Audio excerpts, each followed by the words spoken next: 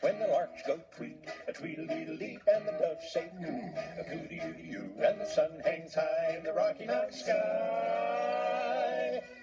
You know it must be love. You must be starving.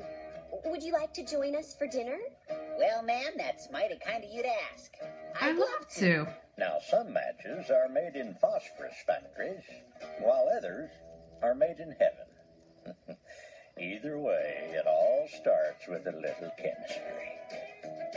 Oh, when the ducks go quack, a wacky, wacky, whack, and the owls say hoo, a hooty, hooty, hoo, and the stars shine bright in the Rocky Mountain night. You know it must be love. Well, Sally and her folks were mighty thankful to Moe for saving her from that bear. And Moe was mighty thankful to feel appreciated. And with all of that cordialness and niceness going around, it weren't long before they were all thankful for other things. Aww. Yep, Moe and Sally got hitched and started a family. Oh, when the bees go buzz, the buzzy buzzy buzz, and the little butterflies a flutter tutter by, and the clouds float fair through the Rocky Mountain air. Cute. You know it must be love. Moe took to domestic life like butter to a biscuit. Gone were the days of canyon garden and dodgeball throwing. Why, anymore, Moe couldn't hit the broadside of a barn with a dodgeball, nor did he try. He was content caring for his family and walking zippy.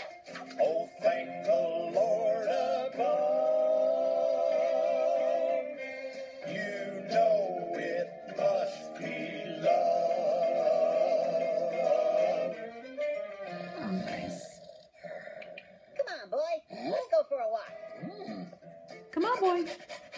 Did you remember Sliver? Yep. Never leave home without it.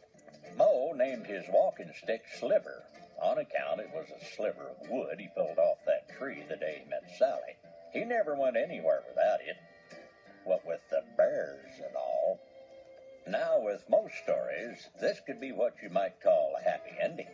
Look at that. He's even walking off into the sunset with his buffalo